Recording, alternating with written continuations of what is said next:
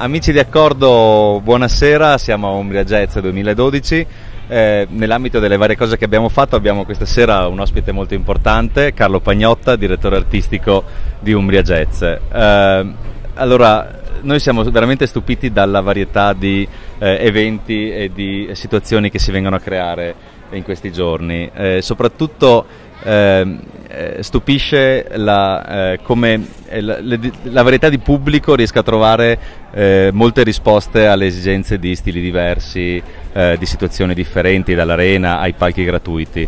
Come funziona una, una selezione così importante con artisti di questa rilevanza? Questa è la formula vincente che ormai va avanti da anni, è la formula vincente di Umbria Jazz concerti nei piccoli posti con la musica adatta, nel main stage grandi artisti, nei teatri un jazz di nicchia, nei, concerti gratuiti chiaro ci vuole la musica più facile, più accessibile al, al pubblico che magari eh, lecca il gelato e ascolta e quindi e quindi ecco fatto che, che, che, come ha scritto qualcuno sono tre festival in uno, il main stage, i concerti gratuiti e, e i concerti nei teatri e nei club.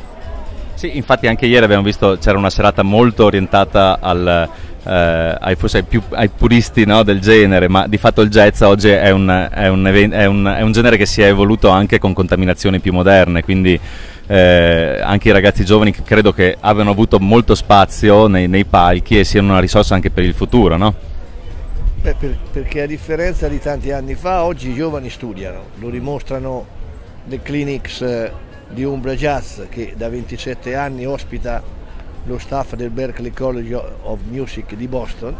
è la collaborazione più antica di, di, di famosa, questo famoso college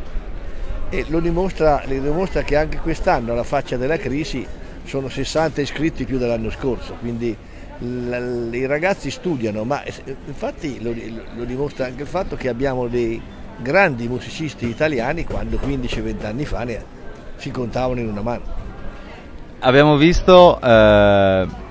una città vestita a festa, ma eh, sembra quasi essere questo l'unico posto possibile dove organizzare una cosa del genere, tanto siano coese le due, le due manifestazioni. Credo che ci sia un'eccellenza anche della città in questo senso, sembra che sia molto partecipe, non solo il pubblico, mi riferisco anche al contesto eh, proprio urbano no? e anche probabilmente delle del, del, del, delle amministrazioni pubbliche, eccetera, quanto, quanto c'è di tutto questo, cioè quanta coralità c'è per organizzare un, un, evento del genere? La regione Umbria ci ha creduto dal 1973 e i risultati si sono visti. È stata lungimiranza, ci ha investito e adesso i benefici si vedono perché qui parliamo di cultura, tutto quello che volete, festival importante, ma parliamo anche di turismo.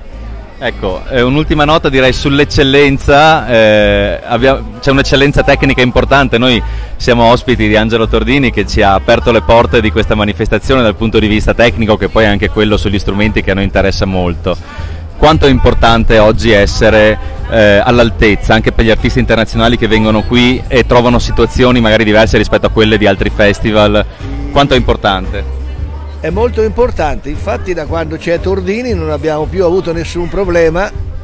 nessun problema eh, con le, amplificazioni. Qualche volta succedeva che leggevamo sulla stampa che, che il concerto è andato bene ma l'amplificazione non era un granché e quindi ovviamente Angelo Tordini ha fatto e farà, e farà sempre un gran lavoro perché è un amico di Umbria Jazz. Benissimo, io la ringrazio, è stata una chiacchierata molto interessante e in bocca al lupo per gli ultimi giorni che mancano. Io che ringrazio voi. Grazie mille, arrivederci.